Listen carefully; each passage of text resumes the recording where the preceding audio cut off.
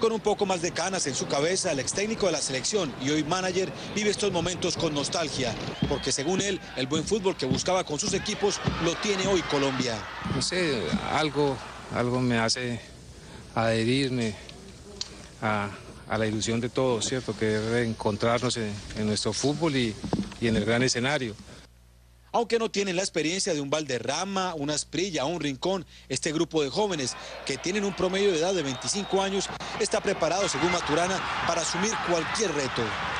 Que en estas etapas vienen momentos de crisis, que ellos seguramente lo van a saber superar porque hace un poco de años se fueron de Colombia, están fuera de su casa.